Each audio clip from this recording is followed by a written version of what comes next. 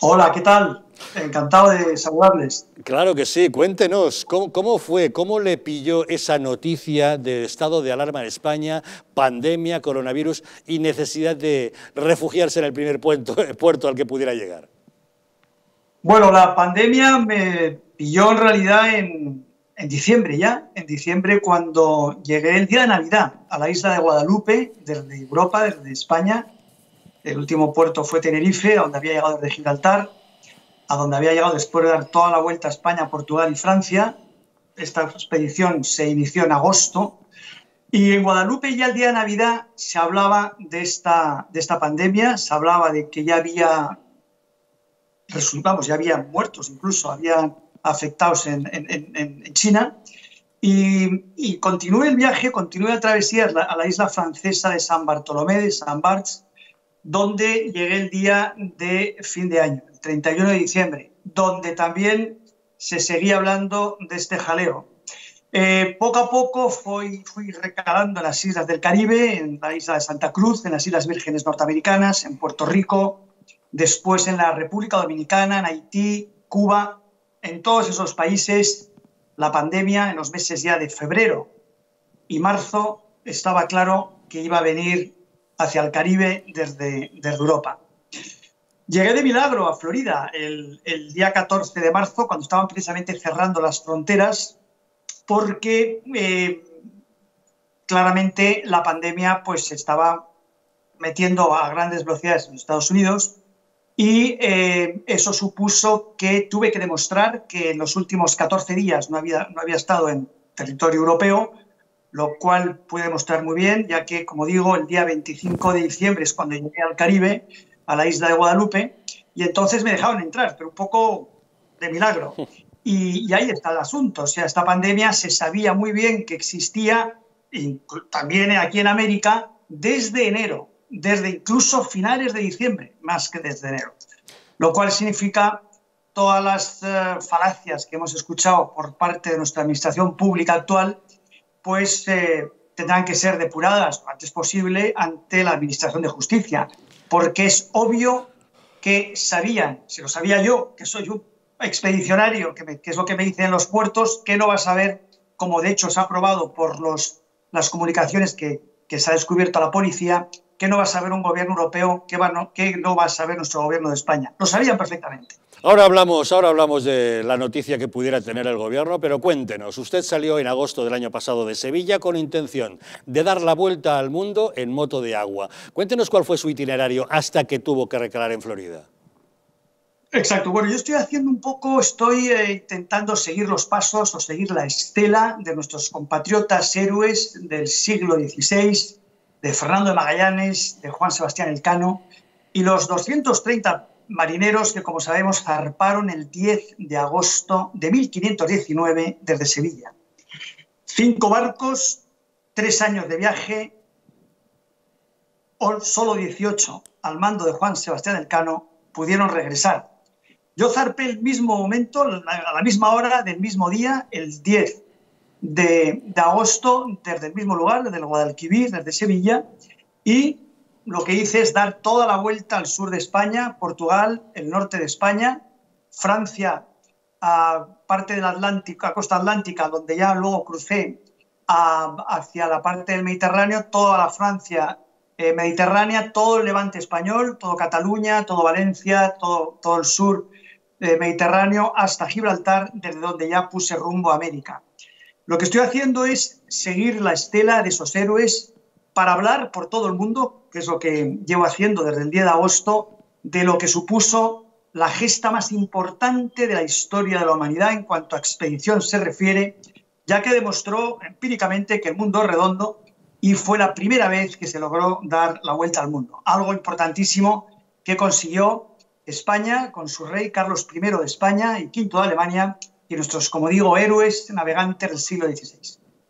Y se encuentra usted ahora en Florida, y justamente fue un antepasado suyo, don Tristán de Luna, quien en 1559 fundó la primera ciudad de lo que es hoy Estados Unidos, Pensacola, ¿no es así? Efectivamente, y es la razón única por la cual recalo aquí en los Estados Unidos.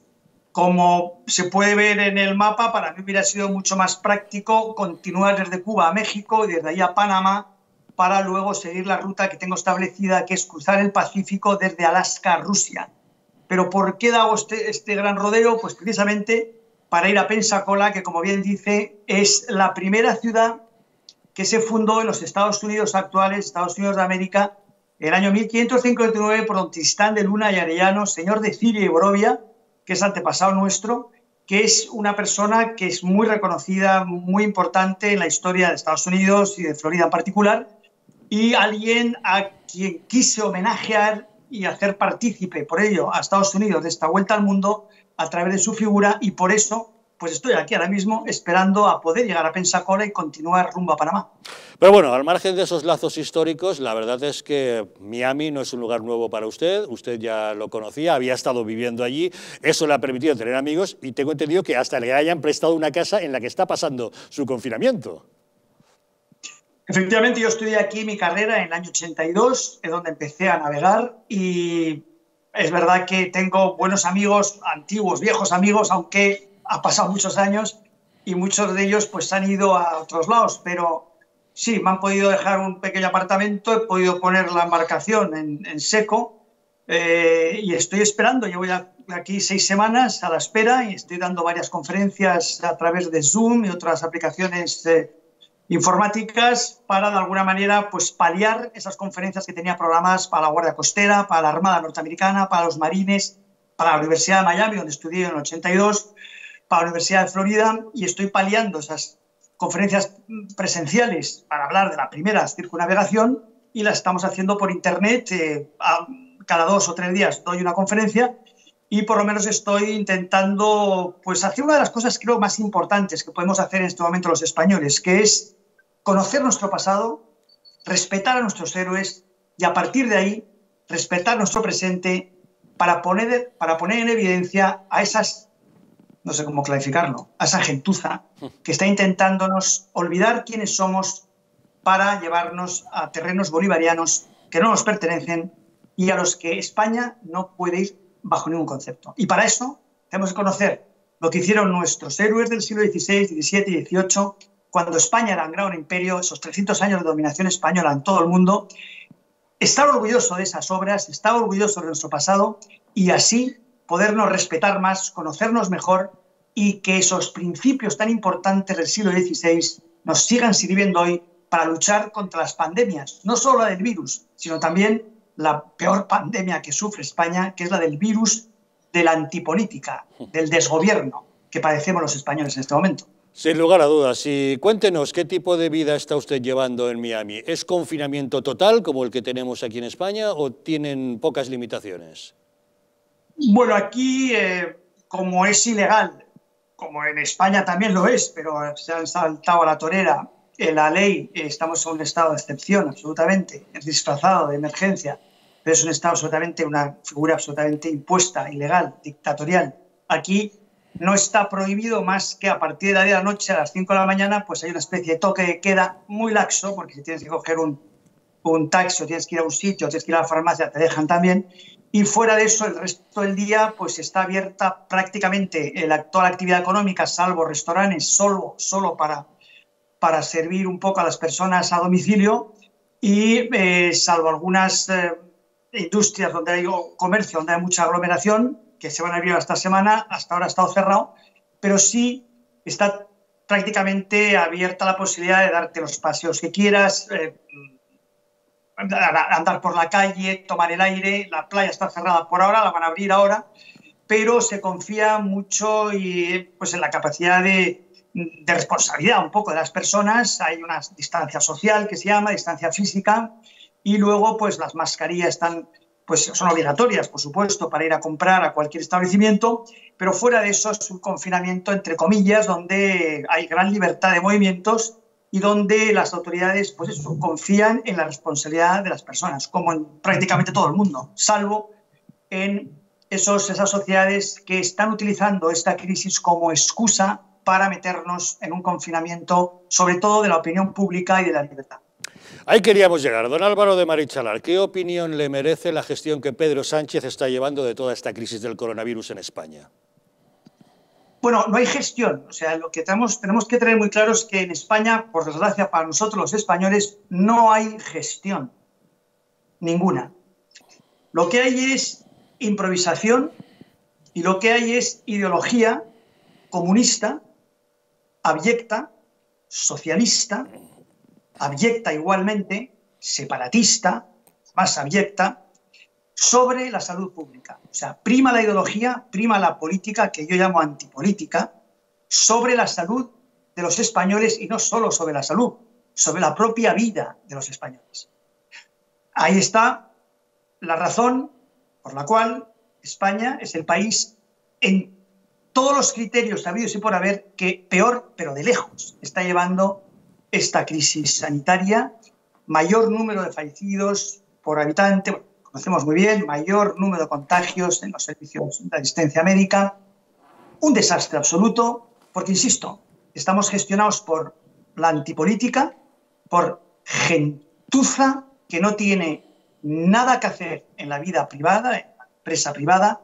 Yo soy empresario y jamás contrataría al tal Sánchez o al tal Iglesias o al tal Illa para nada, nunca, ningún empresario les contrataría para nada, de nada, jamás, porque no saben hacer nada y porque además son intrínsecamente malas personas. Lo tienen en la cara, no hay más que verles, lo tienen en los gestos, lo tienen en la prepotencia, lo tienen en lo que cuentan, en lo que dicen, en lo que mienten, en lo que manipulan. Entonces, claro, estamos gestionados por la hez de la sociedad europea, claramente, y el resultado es lo peor imaginable siquiera.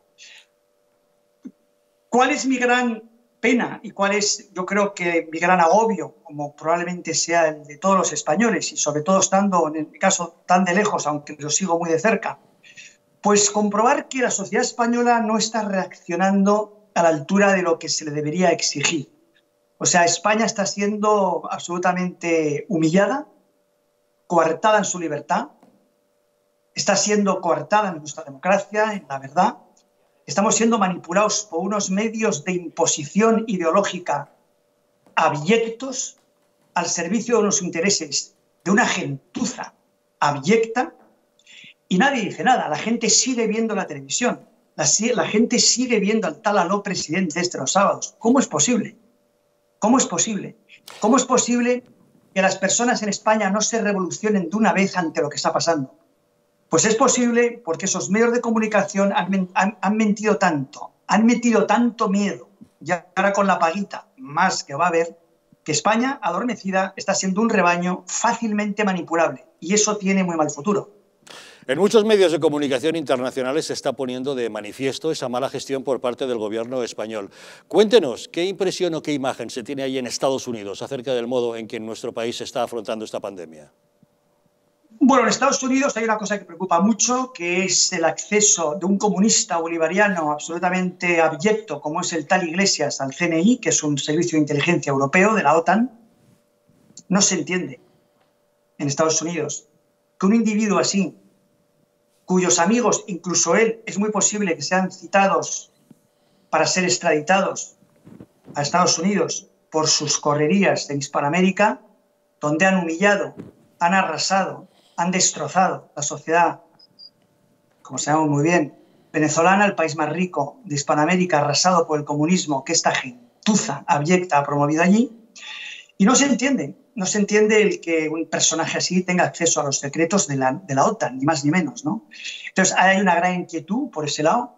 Y por otro lado, una gran inquietud también de la gran enorme manipulación que están haciendo los medios de imposición ideológica en España, intentando hacer de Estados Unidos un país donde se está gestionando muy mal esta crisis, mostrando todas las imágenes que no muestran eh, de lo que sucede en España, de ataúdes, de personas, de dolor, etcétera, lo muestran en Estados Unidos, que en términos absolutos está sufriendo la pandemia de una manera absolutamente, bueno, pues suave, súper suave, digamos, comparado con lo que está siendo las pérdidas de vidas humanas en, en España, ¿no? Que darnos cuenta que aquí hay 350 millones de habitantes y en España 47. O sea, si hay más muertes en Estados Unidos, bueno, pues, pues es normal, ¿no? Somos es un país que es siete veces más grande. Y entonces es, es, es, lógico. Pero eso, claro, lo camuflan estas televisiones malditas todos estos sicarios de los medios de imposición ideológica.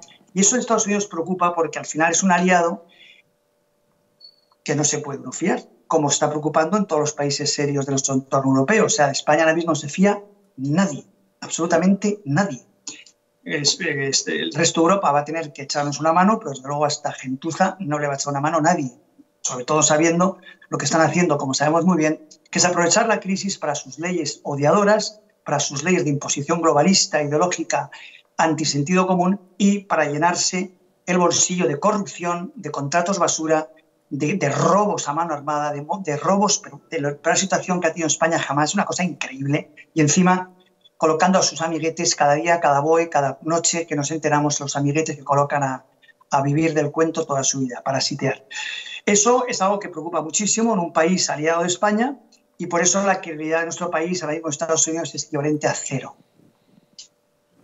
Y desde su punto de vista, ¿qué tal está siendo la gestión que Donald Trump está haciendo ante esta crisis ahí en Estados Unidos?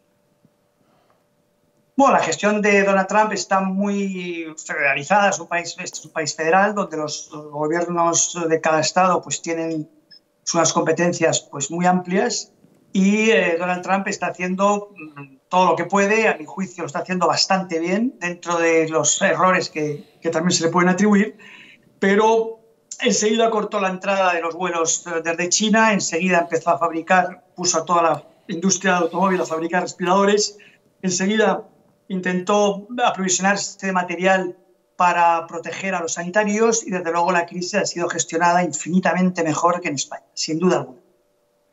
Aquí en España, efectivamente, el gobierno de Pedro Sánchez y de Pablo Iglesias lo ha hecho rematadamente mal desde el punto de vista sanitario. Primero, tenían una información que nos ocultaron a todos los españoles para seguir adelante con su calendario de festejos feministas.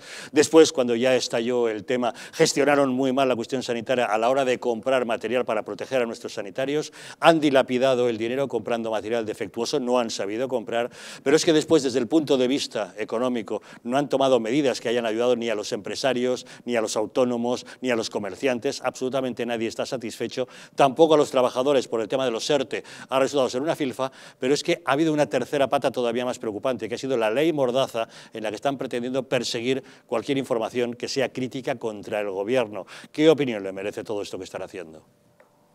Bueno, yo creo que están utilizando la pandemia, la desgracia, el horror, que significa un virus que, por cierto, no sabemos todavía de dónde viene, aunque hay mucha sospecha, están utilizándolo para su agenda política desde el minuto uno. Entonces ellos ven una oportunidad, ven una oportunidad sobre todo en, la paga esta eh, bordaza y en la paga secuestro de la voluntad de las personas libres y ellos tienen una agenda absolutamente contraria a los intereses generales de España y contraria a salvar lo que es más importante salvar ahora mismo, que es la salud de los españoles. No les importa absolutamente nada la salud de los españoles. La prueba es el portavoz que tienen, el tal Simón, el ministro que tienen, que es un tío que lo único que sabe hacer bien es dar contratos a dedo a sus amiguetes de esas empresas fantasmas, de sus vecinos de, la tierra catalana, y, poco más. Es una gente absolutamente abyecta, que es una cosa vergonzosa, es una cosa increíble, increíble. Lo único que hacen es gastar dinero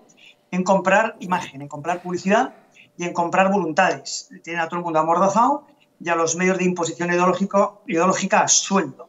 Sueldo que pagamos nosotros con los impuestos absolutamente injustos que nos roban constantemente sin parar eh, la administración tributaria. Entonces, ¿qué es? Es un gobierno anti-España, es un gobierno anti-interés general, es un antigobierno.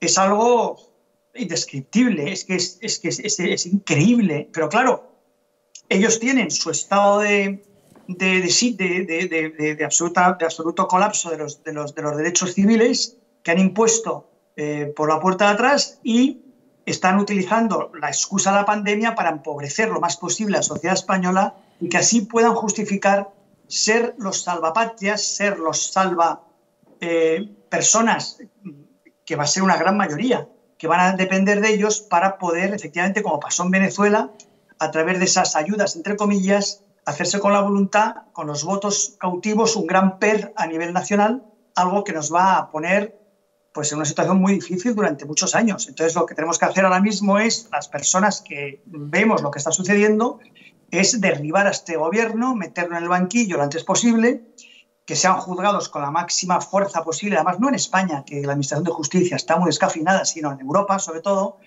incluso en tribunales internacionales de otros ámbitos, porque esto es un tema de un genocidio, lo que se ha hecho con nuestros mayores es algo impresionante, es algo increíble, es algo incalificable, y lo que hay que hacer es realmente es ponerse muy serios, muy serios contra esta gentuza y, insisto, sentarla en el banquillo, deshacerse, deshacerse de ellos lo antes posible y recuperar nuestra economía con un gobierno de emergencia, un gobierno de personas que no piensen los cuatro añitos que les van a, dar los electores hasta que los vuelvan a votar o dejen de votar y que esté pensando en lo que un político debería de pensar, que es el interés general en la patria, que es algo en lo que piensa muy poquito político, por desgracia, en España hoy día. Y un último detalle, don Álvaro, ¿qué le parecen esas voces, muchas en Estados Unidos, que apuntan a que el coronavirus podría ser un material fabricado en un laboratorio? Bueno, a mi juicio no hay duda de que eso es así. Digo, no hay duda por todo lo que se ha leído, por todo el histórico, por todo lo que hemos podido ver y eh, por todas las consecuencias que tiene a nivel económico. Nadie se puede creer que ciudades chinas que están a 200 o a 300, a 800 kilómetros del foco teórico no tengan ningún caso y ciudades que están a 14.000 kilómetros o a 22.000 kilómetros pues tengan una pandemia de locos. Pues eso es una cosa que es imposible de creerse. ¿Qué ocurre? Que claro, eh, hay unas, el mundo está muy complicado, ¿no? La sociedad está muy interdependiente. Sabemos que Estados Unidos depende mucho de China, ¿no? ¿Quién tiene la deuda norteamericana? Está la situación complicada, complicada, entonces necesitamos ahora mismo rearmar a la sociedad civil internacional para huir de estas manipulaciones de estos grupos que intentan, por parte de tantos eh, lados, tantas, tantos, sobre todo el globalismo internacional, intentan pues aniquilar nuestra civilización como la conocemos. ¿no? Entonces, eh, para eso la prensa debería ser mucho más beligerante, mucho más libre, mucho más profesional, porque al final son los responsables de que se conozca o no se conozca la verdad. Y por desgracia, hay mucho misterio y muchas cosas que no se han llegado a conocer nunca. Ahí está el 11M, ahí están las Torres Gemelas, ahí están tantas cuestiones tan difíciles de, creerse y donde la prensa, donde los medios de comunicación no han indagado, no han investigado lo suficiente y se han dedicado a ser, sobre todo en España, eh, producto de sus amos y eh, fieles servidores, fieles sicarios de la gentuza que les ha ido pagando sus voluntades ¿no? y, su información hecha a medida de sus intereses, los intereses políticos. Ahora tenemos la oportunidad de que la sociedad civil pegue un toque muy serio también a los medios de comunicación para que los medios de comunicación se conviertan en investigadores de la verdad y que podamos enterarnos de lo que sucede, eh, de lo que sucede realmente. ¿no? Y una de las cosas que la humanidad tiene que saber es el origen de este virus. Pues ojalá sea verdad y algún día podamos saber la auténtica realidad de acerca de este virus, de dónde ha salido y con qué intenciones.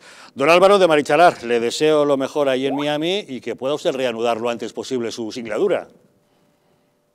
A ver si Dios quiere. Estoy un poco bajo de moral porque no sé si al final, en fin, yo estoy aquí intentando también echar una mano a las personas que, que puedo eh, sobre todo en Venezuela, donde hay un horror de situación, encima ahora con esto, pues más todavía, y también un poco en otros sitios, sobre todo en nuestro país, pero desde luego mi expedición, entre otras cosas, va a servir para, para hablar de la verdad, de lo que es España, de lo que son los valores y principios que nos deben de, de animar para que estas crisis, estas crisis tan terribles, no nos dobleguen y nos hagan más fuertes para poder eh, seguir con, ese, con esa gran cruzada que es defender la verdad, para realmente ser libres. Sin verdad no hay libertad.